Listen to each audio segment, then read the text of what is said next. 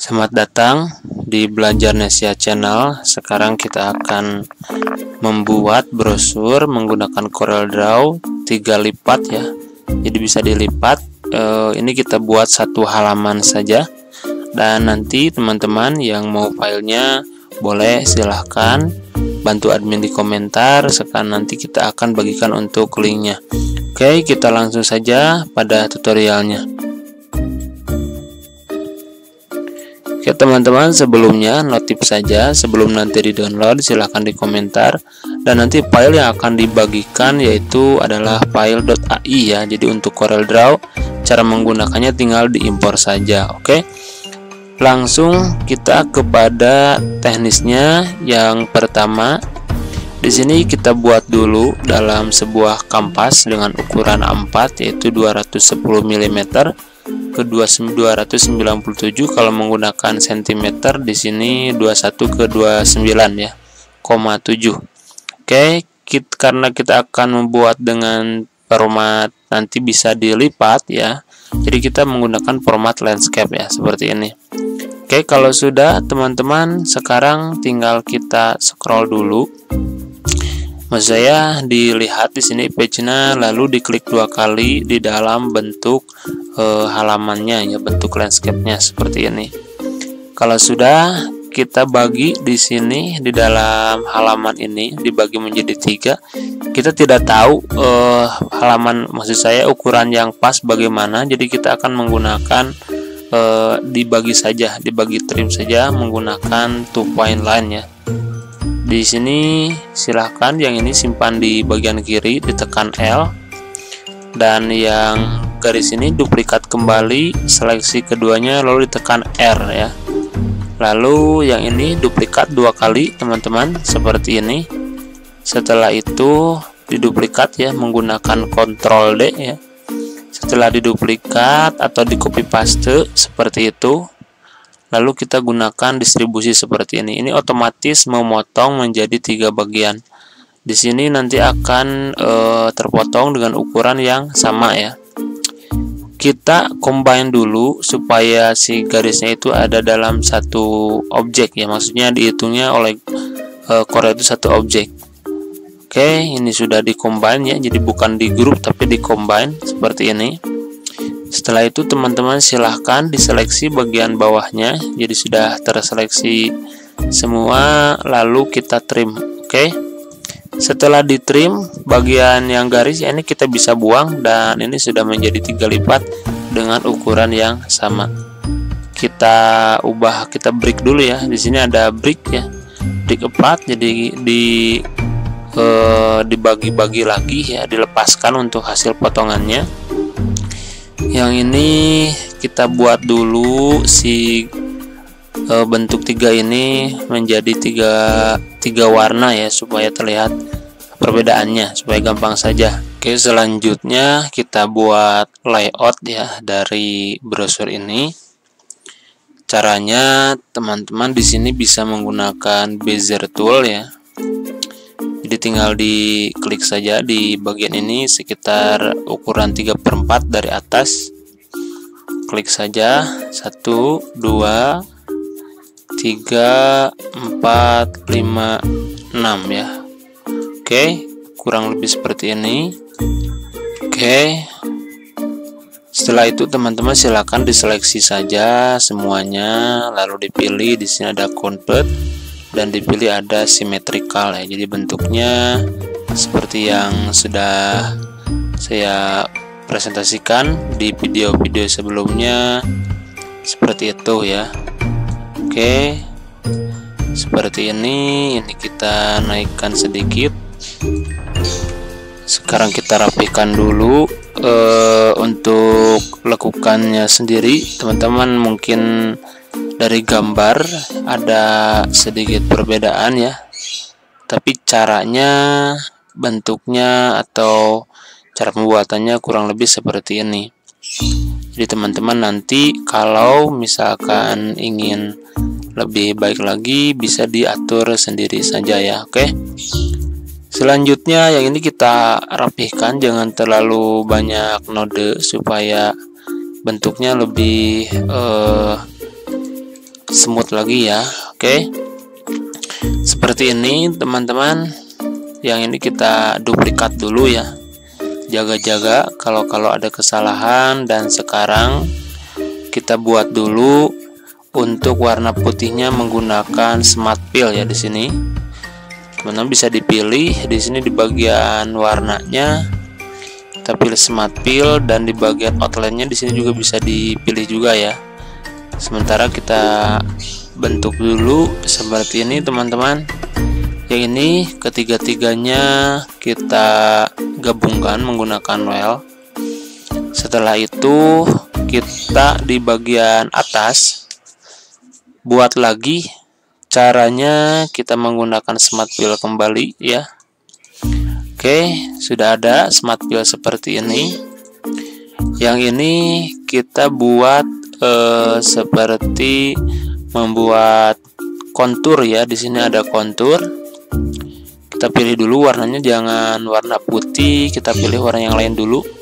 Ya di sini sudah ada. Teman-teman bisa kelihatan. Oke. Seperti ini. Untuk ujungnya kita pilih saja round ya untuk ujungnya. Jadi di bagian lancip di sini. Kita pilih round saja sebentar kita coba tambahkan. Oke karena ini internal ya teman-teman. Nanti kita akan setting di bagian outline nya satukan dulu untuk uh, ketebalannya kita ambil 0,7 nanti supaya bisa diseragamkan. Ini juga sama ya kita ambil ke tengah tadi disamakan 0,7 Oke jadi sama ini juga sama 0,7 ya jadi kita tarik dulu ya. Terus kita ganti di sini 0,7 ya. Jadi untuk menggunakan Corel sepertinya lebih mudah ya. Ini sudah ada dan kita break ya. Dimasuk di objek break oke. Ini juga sama kita masuk objek lalu break. Ini juga sama kita masuk objek lalu break. Jadi kita ada tiga buah objek seperti ini yang akan dibuatkan outline nanti. Dan belakangnya teman-teman di sini akan dibuatkan warna ya. Kita coba dulu dimasukkan dulu untuk model dan bahannya. Kita tarik saja ke dalam Corel Draw seperti ini oke. Di sini contoh ya ada contoh. Kita hapus saja contohnya. Dan untuk palet warna teman-teman kita pilih warna orange saja semuanya. Oke. Di bagian belakang ya. Oke. Pilih warna di bagian belakang. Ada warna oranye iya seperti ini. Kalau ingin sama tinggal diklik saja dan dipilih untuk lain yang kita gunakan. Kita turunkan dan pada bagian ini bagian garisnya kita tambahkan teman-teman supaya lebih tebal 1,5 misalkan. Kita pilih warna putih tinggal kita buat stylenya di sini teman-teman. Kita objek properti ya. Di sini ada warna dan ada style.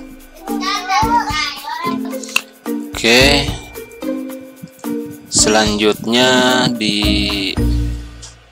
kita hilangkan ya untuk outline di tengah. Dan di bagian ini kita klik kanan saja. Ini juga sama bagian ini kita klik kanan saja. Oke. Untuk garis putus-putusnya teman-teman bisa disesuaikan ya. Ingin yang lebih sedikit atau yang lebih panjang juga bisa. Dan nanti untuk stylenya bisa kita pilih ya di sini. Jadi sudut-sudutnya di sini bisa ditumpulkan atau dilancipkan. Oke selanjutnya kita masukkan untuk background ya. Backgroundnya yang ini kita masukkan dulu ke dalam Corel Draw nya ukurannya kita samakan yaitu 21 ya. E, maaf maksud saya 29,7 27 29,7 di enter saja. Kita gunakan di sini ada align ya distribusi. Eh, maksud saya kita simpan di tengah saja bagian atas. Lalu kita gunakan eh, transparan tool dengan mode multiply dan kita kurangi ya seperti ini. Tapi di sini teman-teman masih ada eh, bagian yang keluar ya. Jadi yang ini kita sorot dulu dan tekan control home. Jadi otomatis backgroundnya hanya untuk warna ini saja seperti itu. Sepertinya terlalu detail kita bisa masukkan 93 mungkin. Bagian yang bagian yang titik-titik kita naikkan dengan control home. Oke. Harusnya bentuk yang ini saja kita turunkan saja. Oke seperti ini. Eh sorry. Ya. Oke. Ini masih ada di atas kita turunkan di control back down juga sama atau control back of layer boleh. Coba kembali lagi control back to page boleh dan untuk bagian yang warna orange kita lakukan yang sama yaitu klik kanan lalu order dan back to page ya. Ini yang tadi ya teman-teman kita tinggal dihapus saja atau di turunkan ke bawah oke? Jadi bagian garisnya ada di bagian atas. Selanjutnya teman-teman kita uh, masuk buat satu lagi. Kita buat di bagian ini seperti yang ini ya gelombang itu juga sama menggunakan bezier tool oke kita satu dua tiga empat 56 ya kurang lebih seperti ini teman-teman. Si seleksi dulu semuanya. Pilih convert to curve dan pilih symmetrical. Oke yang ini tinggal dirapikan saja. Jangan sampai si bentuknya itu kurang smooth ya kurang lebih nanti bentuknya seperti ini. Kita rapihkan saja dulu di sini kita hapus ya sebagian supaya kita pilih simetrikal supaya tidak terlalu banyak node.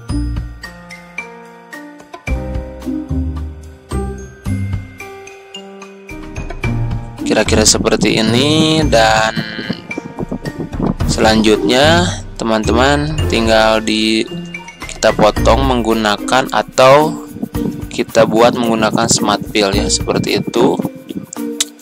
Dan kita gunakan warna eh di sini ada warna hijau ya.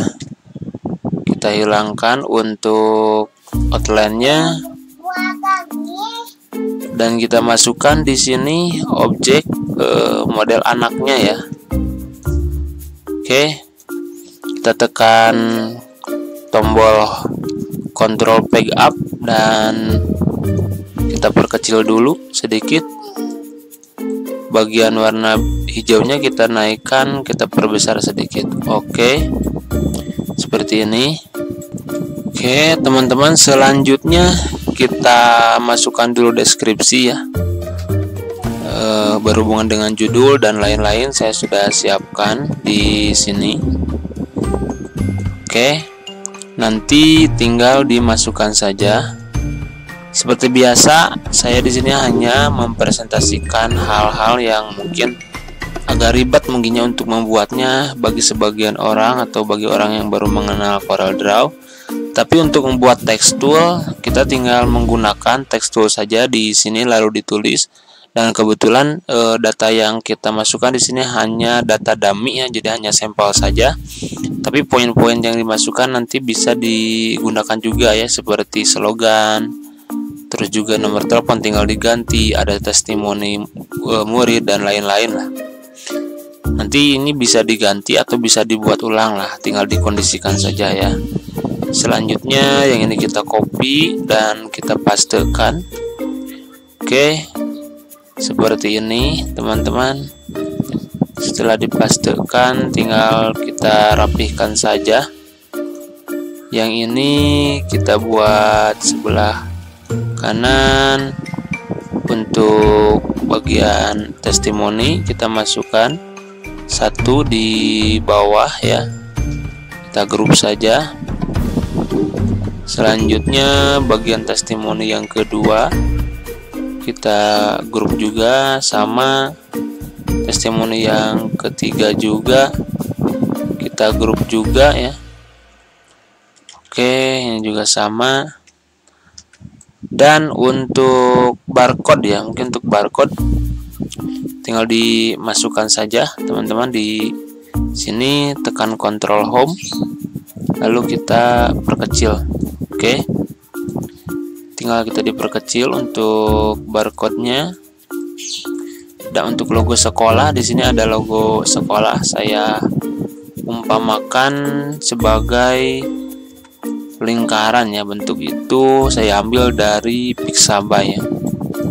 Oke kita perkecil di bagian sini. Dan untuk yang ini kita gunakan rata tengah atau rata kiri ya. Disesuaikan dengan yang bagian bawah teman-teman. Logo dan deskripsi kita grup. Nah untuk gambar logonya kita sesuaikan saja. Oke kira-kira seperti ini. Oke tinggal dirapikan sedikit-sedikit saja selanjutnya tinggal dimasukkan ke dalam eh, frame ya. Di sini ada frame dari untuk foto siswa atau testimoni siswa. Sebenarnya teman-teman ini tinggal dibuatkan saja ya di sini di bagian kotak menggunakan rectangle tool. Ini juga sama digunakan saja menggunakan kotak di bagian rectangle tool ya. Caranya kita ambil tiga sampel model ya di sini. Tinggal kita klik kanan power clip dan pilih kotaknya. Ini juga sama klik kanan power clip pilih kotaknya. Ini kita duplikat dulu ya Ctrl D klik kanan power clip dan dipilih kotaknya kita pilih di sini ada fit content ya fit fill frame proporsional masih terpotong kita edit power clip turunkan ke bawah kita finish kita edit power clip Oke. Kita perkecil saja. Di sini ada dimensinya ya. Kita kurangi dengan persentase. Maksud saya dimensi untuk persentasenya masih kurang. Kita masukkan 5. Oke. Seperti ini. Kita finish kalau sudah dan yang terakhir edit konten proporsional lalu ada edit power clip tinggal di ke bawahkan ya sampai wajah klik kanan dan finish sentuhan terakhir teman-teman kita buat satu buah bayangan supaya terlihat seperti ada efek lipatan ya. Yang ini kita berikan warna hitam ya. Lalu kita transparansikan. Transparansinya kita menggunakan fontaine ya. Bagian yang ini kita kurangi saja oh, maksud saya kita berikan saja eh, transparansinya seperti ini. Karena di sini warnanya ya bukan warna hitam. Kita turunkan dulu supaya sangat hitam. Oke. Lalu kita simpan di bagian sini. Bagian eh, paling kiri dan paling atas ya oke kita kurangi lagi untuk transparansinya sepertinya teman-teman Oke.